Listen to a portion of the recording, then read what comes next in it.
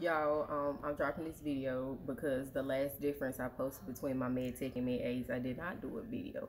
However i feel like y'all need one to grasp what it is that i'm explaining to y'all. The topic is insulin okay? This is an insulin vial multi-dose and you'll pull it up in a syringe. This is an insulin pen. The insulin is in this cartridge. Yes it's supposed to be clouded like this Med Aides do not give insulin. Better yet, Med Aides don't give injections at all. Okay, Med Techs do. Remember, Med Techs work in assisted livings, so they can give sub-Q injections, which are injections and the fat. However, Med Aides, you should not be doing an injection.